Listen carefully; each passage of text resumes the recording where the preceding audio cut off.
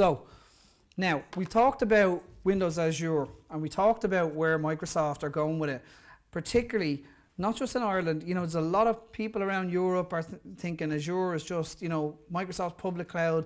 It's too big and it's it's too expensive for what we need as a smaller country or what our customers need. Okay, so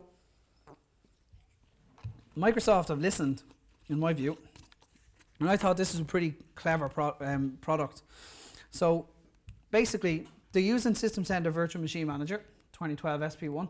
So they do all the virtual network and stuff that we saw the guys showing earlier on. You build your private clouds. John's going to do a little bit on private cloud uh, strategies later on.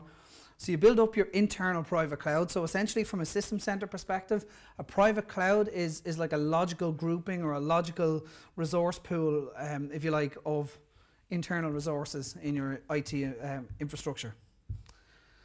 So what they do is they have, so we just go back there. So there's a private cloud usage scenario. So you go, you configure your fabric, configure your cloud. So you've got your little private cloud object in, in Virtual Machine Manager and you might have SCOM and whatever else. And you know, you're using it to live migrate VMs and, and migrate storage between your Hyper-V clusters and stuff like that. And that's pretty cool. And then you know you've got Microsoft saying, why don't you put it up into the public cloud? And you're saying, well, I'm not going to put it up there. No, because it's just, just too unfamiliar. Forget about cost for a moment, but you know, and forget about the Patriot Act and all this, you know, the US kind of reading all our data. If, if we just park all that, which I, am confident that Microsoft will, will resolve those, um, those doubts for people, you know, if you've deployed your private cloud and Microsoft are saying, look, go to Azure, there's, there's huge benefits. We're going to make it worth your while financially. You know, you're going to save a, a, a, huge amount of time, and you know, and if if, if that argument is, is quite compelling, and, and you're thinking, you know, I might look at it. What you might also then say is when you see the, the Windows Azure portal, it's completely unfamiliar because you'd be used to using your system center or your Hyper-V manager, whatever.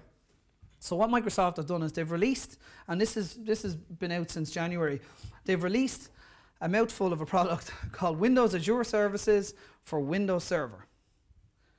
Used to be called Project Katal, which I prefer to call or refer to it. And this basically, it's very, very clever. The, the, the, end goal for this is that it's a framework. And Katal, if you don't mind me calling it that, um, what that does is that sits in front of System Center, if you like, and it works with Orchestrator if you like. You can configure it a number of ways, but this is Microsoft's recommended way, we can see here. And it can provide or deliver resources as a self-service, and you can use chargeback if you, if you so wish. But it basically provides a portal for the System Center environment. Now, you can certainly use the other portals. You can use App Controller, VMM, Service Manager. You can use all them if you wish. But this essentially, and particularly if you're into the hosting, uh, if you're if you're working with a hosting service provider, um, this is definitely something you need to be looking at.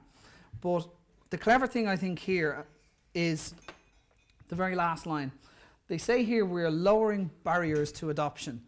How they're doing that is that Project Katal or Windows Azure Services for Windows Server, it looks exactly like the Windows Azure portal.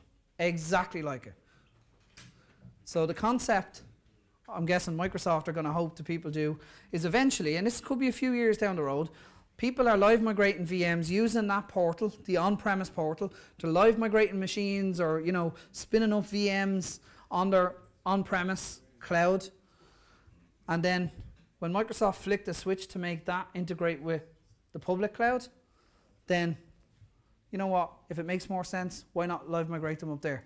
So the barriers to adoption of the public cloud have dropped. And that's a message that Microsoft are definitely trying to push. I think we'll see a lot more of that um, over the coming year. So that's something, uh, something of interest.